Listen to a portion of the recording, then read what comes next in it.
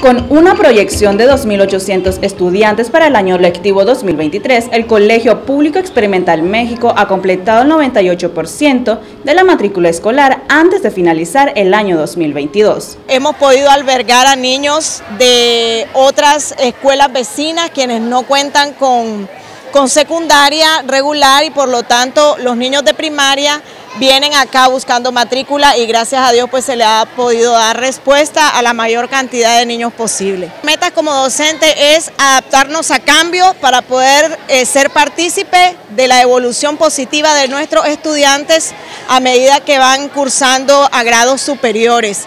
Eh, nosotros queremos que en este año 2023 nuestros estudiantes cuenten con todas las condiciones, tanto eh, a nivel de infraestructura, como a nivel de educación. Este centro educativo ofrece altas calidades para la educación de los niños, niñas y jóvenes, como aulas tecnológicas, laboratorios, grupos de danza, gimnasia rítmica, entre otros.